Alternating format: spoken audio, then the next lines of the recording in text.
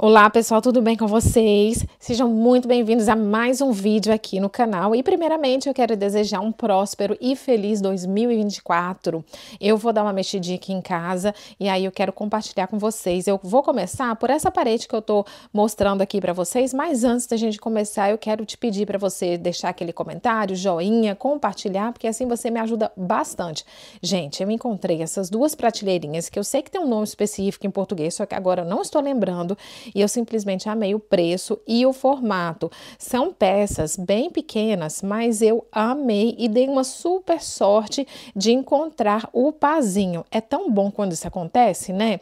E aí eu decidi colocar uma de cada lado aqui é, entre esses quadros. Eu acho que vai ficar bem legal para o efeito que eu quero trazer para esse ambiente. Nas prateleirinhas tinha um ganchinho e aí eu tava com dificuldade em saber como que eu ia pendurar isso, sabe? Aí meu marido me explicou como que eu ia fazer para poder pendurar sozinha, né, sem que alguém tivesse que segurar para eu poder parafusar.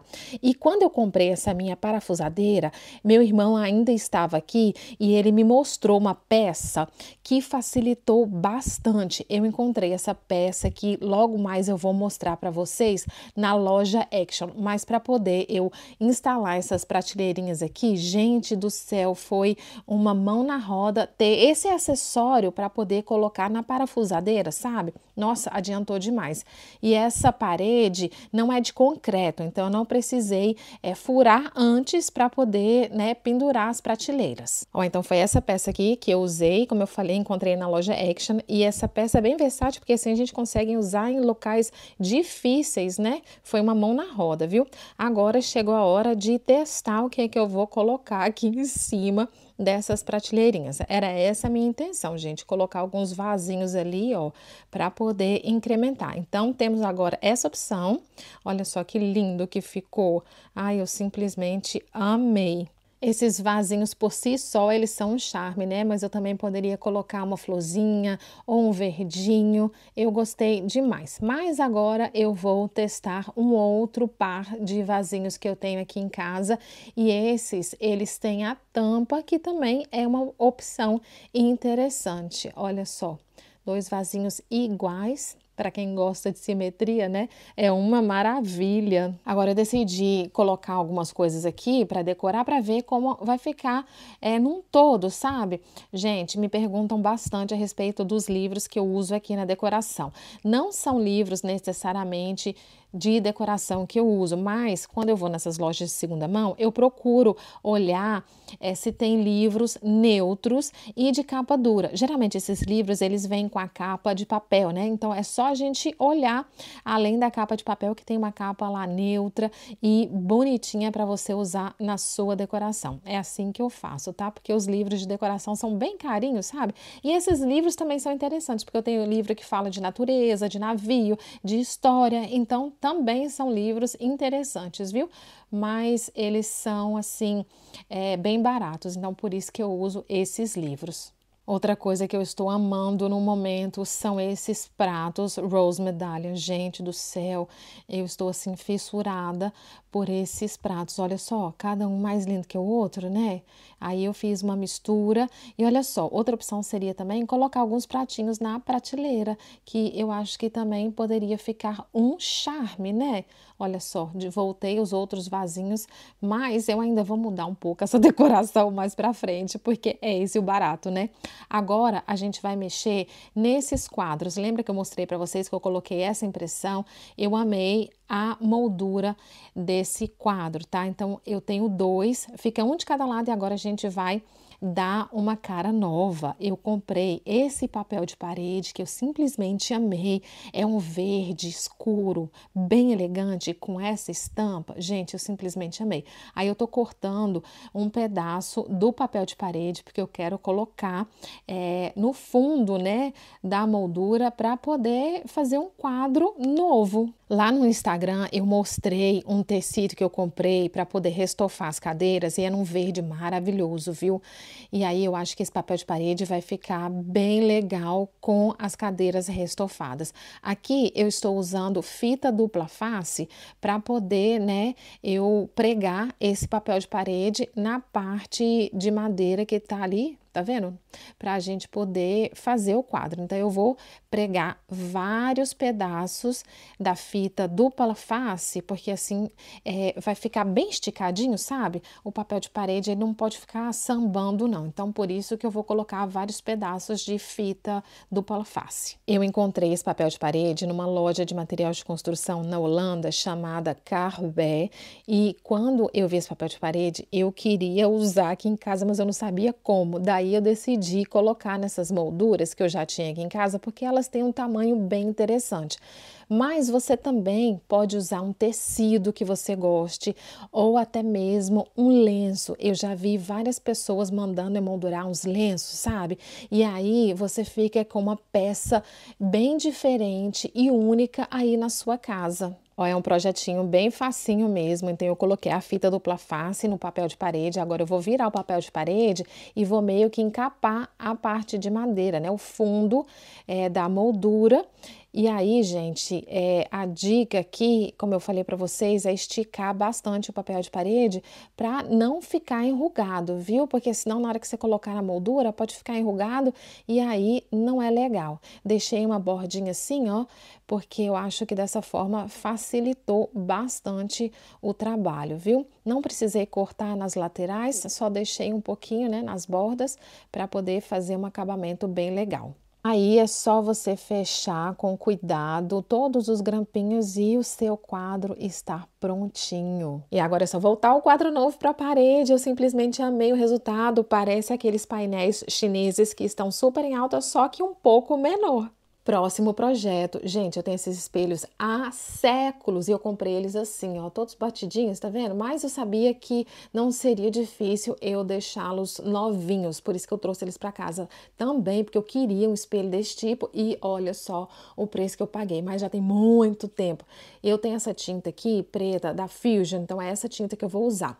Mas antes de começar a pintar os espelhos, a gente tem que preparar, né? Porque se eu fosse pintar sem lixar, não ia ficar legal. Então, primeiro primeiro eu peguei uma lixa bem fininha e vou dar uma lixada nos espelhos, mais coisa assim bem rapidinha mesmo, viu? Esses espelhos tinham umas batidinhas, sabe? A tinta estava meio que descascando, então lixar é bem importante para poder deixar lisinho, porque se eu pintasse sem lixar, ia ficar uns altos relevos, sabe? Que não ia ficar legal. Mas aqui foi bem rapidinho mesmo. Depois de lixar, eu peguei um pano úmido e passei nos espelhos para poder tirar todo o pó. Espelhos prontinhos, preparados. Agora eu peguei esses triângulozinhos aqui que são bem legais de usar, porque servem de apoio, né? Então facilita bastante para a gente pintar. Peguei três, coloquei debaixo dos espelhos, assim a tinta não prega no papelão, sabe? E aí chegou a hora que para mim é uma terapia, viu? Que é pintar. Gente, como é bom pintar, viu? Nossa, eu amo. Me conta aqui se você também acha que pintar é uma terapia. Esses espelhos estavam precisando realmente de uma demão de tinta fresca para ficarem novinhos. E desde que eu comprei, eu queria fazer isso e nunca fiz. Usei eles aqui em casa daquele jeito que eu mostrei para vocês no começo, acredita? Mas é desse jeito, gente. Ó, então eu vou pintar os dois espelhos aqui todinhos. E, gente, eu tenho duas opções, né? Eu posso deixar eles no preto, mas eu tenho essas duas ceras aqui.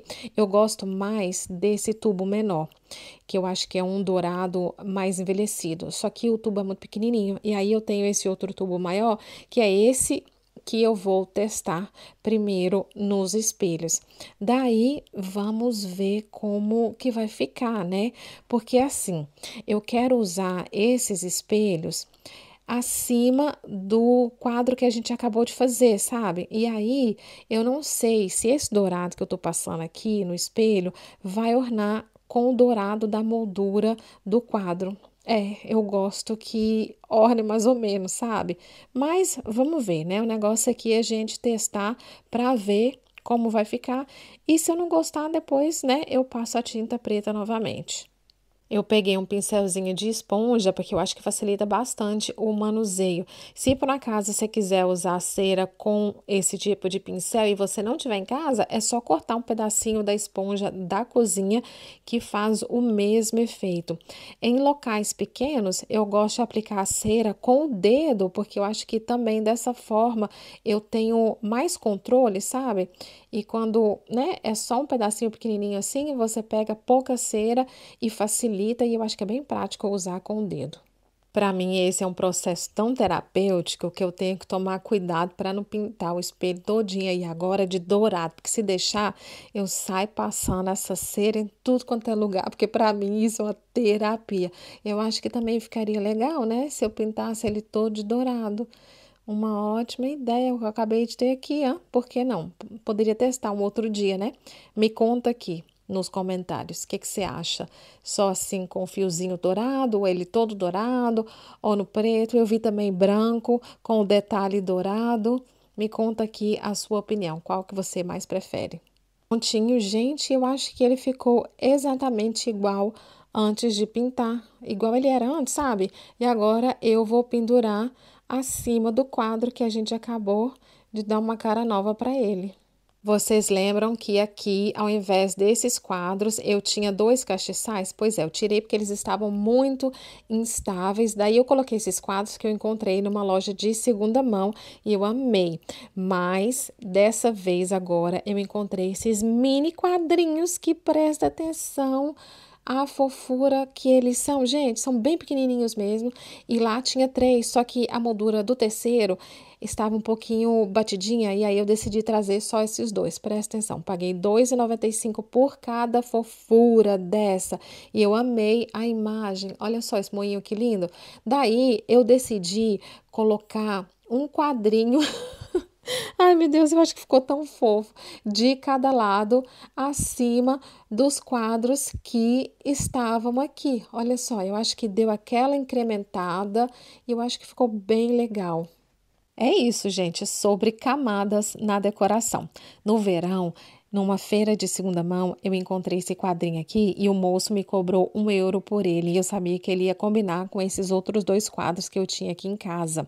Lembra que nós decoramos essa paredinha aqui, colocamos os pratos e esses dois quadros. E aí eu achei que a proporção não estava legal, então eu decidi acrescentar esse quadrinho com os barquinhos aqui em cima e eu acho que deu um arremate na composição e deixou de forma mais harmônica. Eu abaixei os dois quadros que já estavam aqui para poder colocar esse quadro por cima, sabe? Para poder deixar bem bonitinho visualmente. E eu simplesmente amei o resultado, viu? O que, que vocês acharam? Das minhas mudanças por aqui, das minhas incrementadas. Eu espero de coração que sirva de inspiração, viu, gente? Espero que vocês possam pegar alguma diquinha aqui para poder aplicar na casa de vocês. Ah, não deixa de me contar aqui nos comentários qual foi o cantinho ou que você mais gostou. Acabei trocando a decoração desse móvel. Outra coisa que eu fiz também foi pintar o dourado dos espelhos. Deixei só no preto, passei a tinta novamente e eu acho que dessa forma ficou melhor. Eu gostei mais, viu, dessa forma, porque os dourados estavam diferentes, né? O dourado da moldura com o dourado que eu passei no espelho. Então, dessa forma, eu acho que ficou melhor. A decoração da mesa está assim agora. E é isso, gente. Muito obrigada por estar aqui, por me acompanhar. Se gostou, deixa aquele joinha do incentivo. Um beijo e eu vejo vocês no próximo vídeo. Tchau!